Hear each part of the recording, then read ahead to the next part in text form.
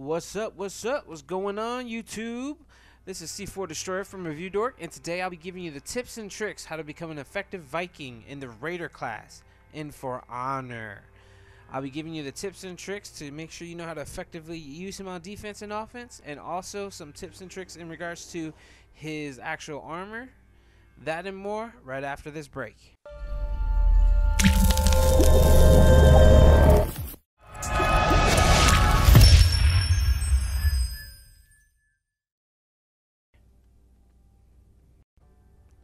So, really quick, I want to touch base on the uh, Viking Raider class. Um, as you can see, he does do a lot of damage by default. He is one of those sluggers in this game. Um, and what I like to mention is the key to his success is having a decent offense, a decent defense, and also having to make sure you recover uh, easily when using your offense and blocking. So one of the big things I pay attention to is the helmet. If you look on the bottom right hand side, you see that my exhaustion recovery is a little bit higher than normal. Usually um, that line that you see where it says debuff resistance, that peak point there, that's typically the normal spot. And as you can see, I have my exhaustion recovery um, all the way up. Well, not all the way up, but for the most part, it surpassed everything else. Uh, because of this Viking class, he's very slow and he takes a lot of stamina and so forth to get his hits off and block. Uh, I want to make sure that my recovery is fast, and that goes with the same for the um, let's see, if I go to the actual arm pieces. So if you go uh, to the arm pieces, you'll see on mine's on the bottom right hand side, my stamina is almost maxed out. I have about 30% left. I concentrate on stamina regen all the time. Again, the reason being is he's very sluggish. He takes a lot of stamina when doing the combos. The more stamina I have, the more often I can defend and attack the way I want to. So usually those are the two that you want to look for. On his gauntlets, you want to have high uh, stamina regen, and on the helmet, you want some exhaustion recovery just in case you uh, do exceed the stamina amount. At least you can recoup that fairly quickly. Now, as far as the um, the chess piece itself, um, blocking damage is big for me. Don't worry about the sprint speed on this character. Because he's so big and he's slow to begin with, sprint speed isn't something we really need to worry about. What we need to worry about is having to defend ourselves because we are the slower characters in the bunch and also making sure that we can resist damage. As you can see in the chest piece, my block damage is favored overall compared to the other perks. So these are the things you got to look for. You got to look for making sure that you have enough stamina going with you, making sure that if you run out of stamina, it recuperates fast enough, and you need to have that defense. Um, and then obviously, because he is a slugger, you need to complement that with the weapon. Um, I like to use a weapon that has an, a high attack um, don't worry about the stamina cost reduction because again, if you look at the uh, the gauntlets, I have the stamina regen to offset that.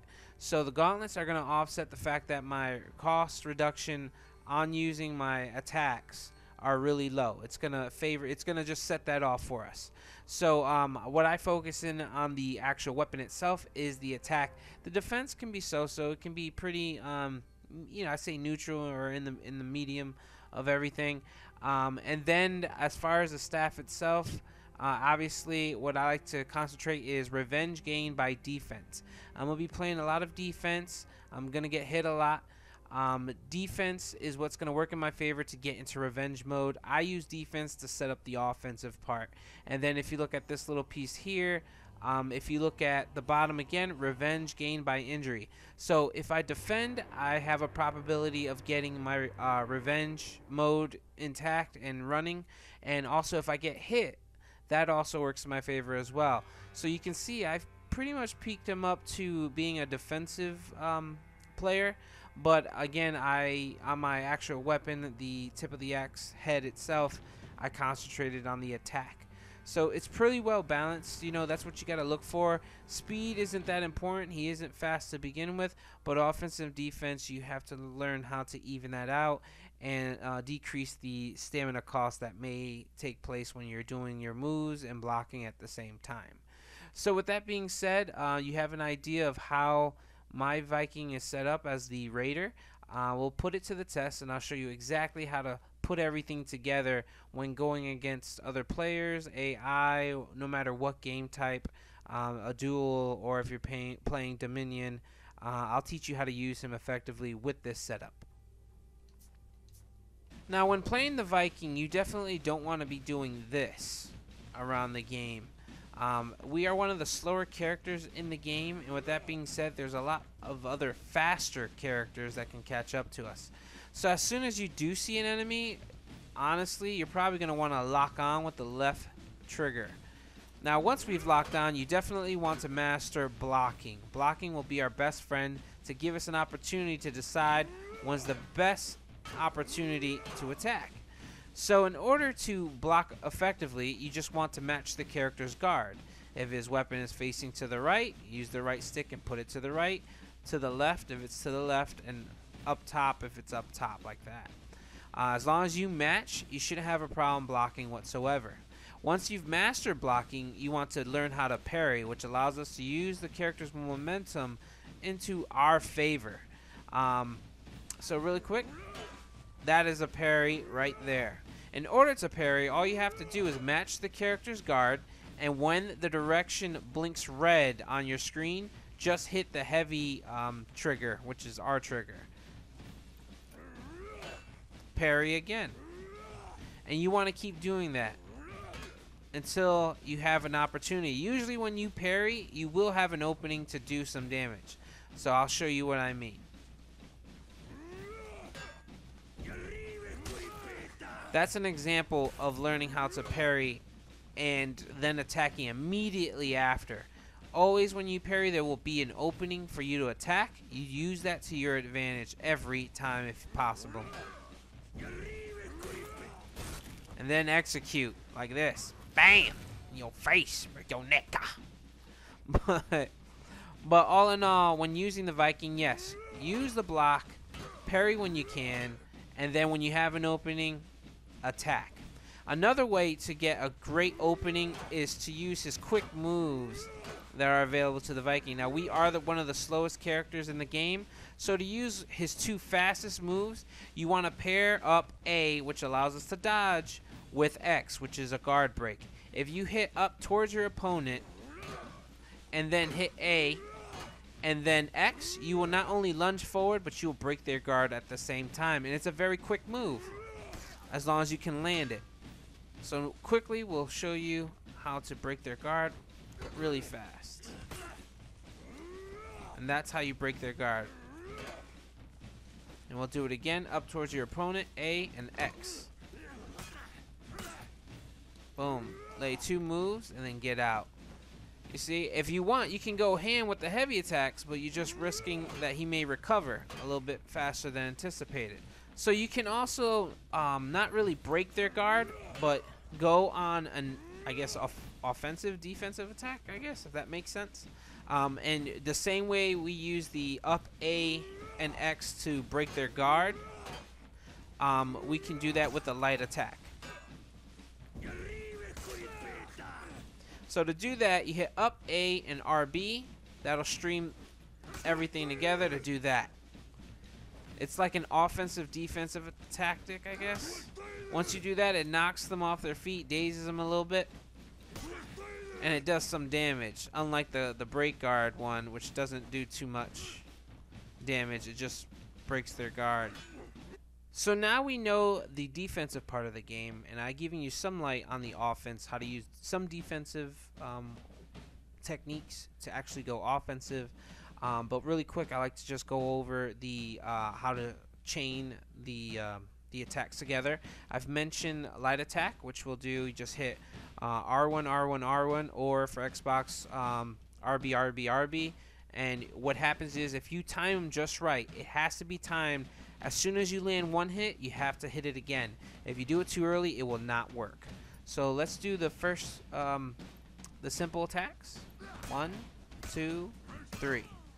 So that's as far as you're going to get as far as the light attacks. Then you have the heavy attacks. As long as you time them, as soon as you make the hit, it'll stream together as well. One, two, three. And then the combo to mix the both uh, both buttons together, you have to RT, RB, RT, or R2, R1, R2.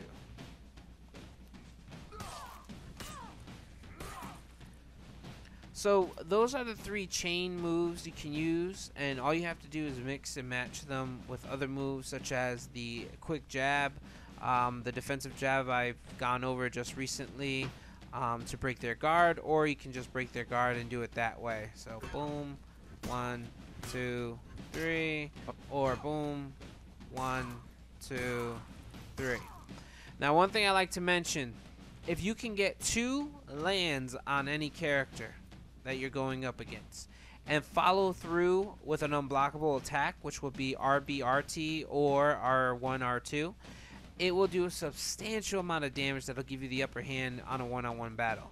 So really quick, just to give you an idea, I'm going to do two light attacks and an unbreakable. So you can see you can do a lot of damage as long as you hit the two regular hits uh, with the unbreakable or two heavy hits with the unbreakable. Um, and you, all you have to do is break their guard, one, two, and then this. Boom and then you'll be in like Flynn with that. Um, now, one thing I like to mention is that the Raider Viking is a grapple type of character. So if you're by bridges or if you see that you're by a cliff, uh, take advantage of the fact that you can easily press X and throw them overboard if possible. Or if it's to the left of you, if you hit X and use the directional pad at the same time and hit X, he'll push them over that way. Whatever direction you point to, that's what he'll do. So hit X, left, and then boom, throw to the left. Well, that's pretty much it. Um, those are the tips and tricks to help you along with becoming efficient using the uh, Viking Raider. Um, I'll quickly give you the tips and tricks in numeric form so you can quickly remember exactly how to effectively use them while you play your game. So, rule number one you definitely want to play defense first and find an opening when it is available. Rule number two when that opening does come, uh, definitely use an unbreakable attack or a heavy uh, as quickly as you can.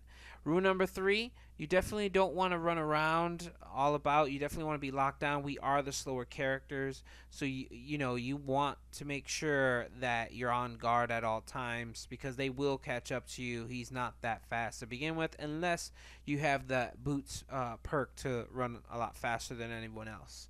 Uh, and then rule number four: um, when you can, try to chain the attacks in sets of threes, ending with the uh, Unbreakable because that will do a lot, a lot of damage, and that'll give you the upper hand on a one-on-one duel. And then, you know, if you're lucky, you'll be able to finish them off and stream another uh, three-hit combo on the next opponent if they're close enough. And next thing you know, you're you're on a rampage. So uh, that's pretty much it for me. Let me know what you think. Hit us up on the comment section if you have any better uh, tips to let other players know how to effectively use the uh, Raider Viking. Um, like, share, subscribe. Let us know what you think. This is C4 Destroyer from Review Dork. I'm out.